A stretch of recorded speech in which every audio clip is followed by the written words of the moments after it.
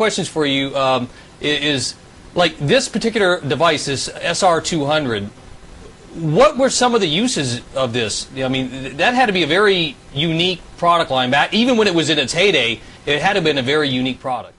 Yes, it was, and I think that um, I think that this machine was designed both for home use and for use in offices because uh, of its tiny size. It was very compact and uh, it was easy to use. It only has four buttons on the front. I, how hard is that to figure out? It, look, it looks like mine. I've got like the little round thing on on, on the front here. You know? I'll show you another very interesting machine that uh, actually looks like a, uh, would be sold in a jewelry store. Okay, this is a Telectro machine, and Telectro is a U.S. company. It's a very interesting story about them. They were they're entirely a U.S. company, and in this 50s and early 60s, they were designing tape recorders and selling them. And this is a little jewel of a machine. And if you look at the slide there, you can see it's actually in a it's it's the box, the sale box that uh, it came in. And this would be it would be put on display in a store rather than just the tape recorder. The box itself was part of the selling point for the product because it was meant to look like it was a really high-end machine. Now, this little gem runs on 10.5 volts, which is unusual, uses 3-inch reels, has two speeds, AC bias, which is very unusual in one of these early tape recorders, and it just sounds absolutely wonderful. And the little, if you can see on the very side there, there's a little blue stripe on the right side.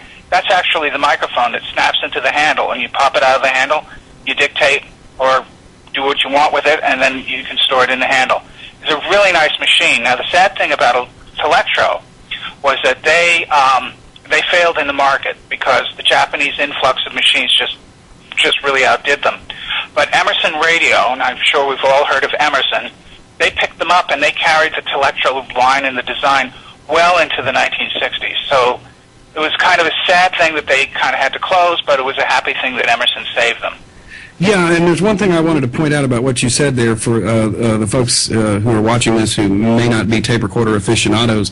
There are two designs that you can have for recording tape, and basically it's AC or DC bias, which is uh, the DC bias is inferior in almost every way. So among tape recorder aficionados, there's a saying: AC bias good, DC bias bad. Yeah, and speaking of even speaking of reels, I mean we've got cool dude Clem on in the chat room right now, and uh, absolutely, uh, uh he's asked, uh, "Is it okay to record our show?" Uh, absolutely, and he's Not actually so. doing on it on his Akai reel right now. So applaud out to that, using older technologies to to get these newer shows out to you.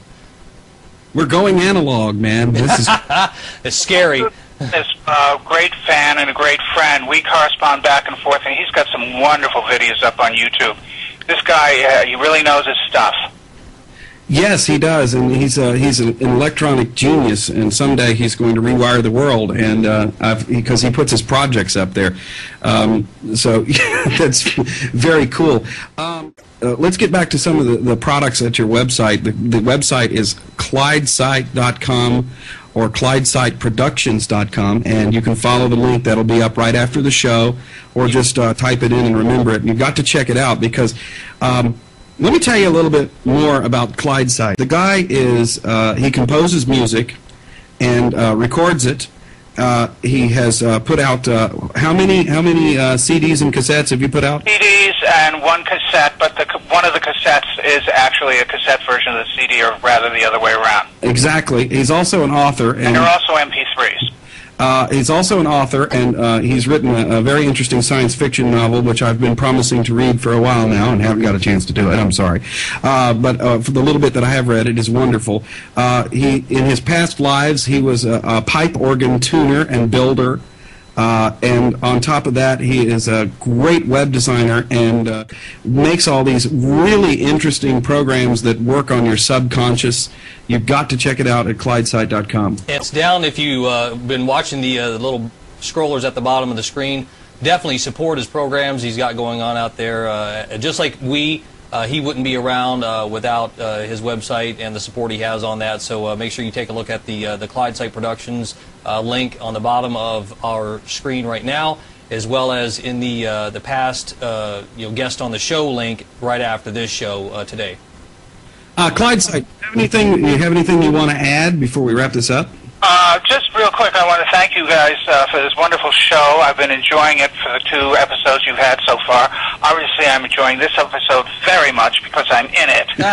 uh, and uh, one of the things that I just want to clarify for the folks, uh, because JC, you were talking about the uh, subliminal message programs, and I just want to clarify to folks, there is a lot of stuff on YouTube and on the web about subliminal message programs that is uh, rather inaccurate. And uh, the programs that I sell are my own invention, uh, which were developed in 1982 when I was in graduate school with the psychology department. And it was actually developed originally on a Commodore 64.